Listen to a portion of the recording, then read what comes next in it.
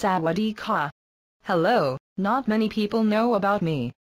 I'm the Thailand TEDx cat.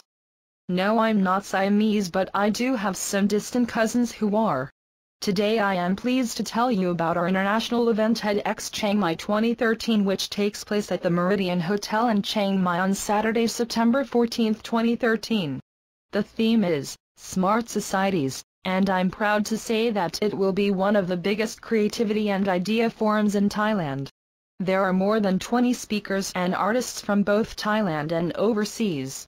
A special feature of TEDx Chiang Mai is dedicated to the future of education and will include several talks by school and university students from Chiang Mai, giving them an opportunity to share their ideas with a local and global audience.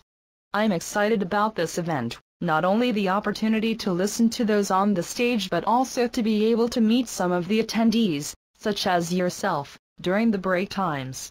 I doubt that you will get to meet all of them. There are well over 300. I only hope they are all cat lovers and I can find a lap to sit on.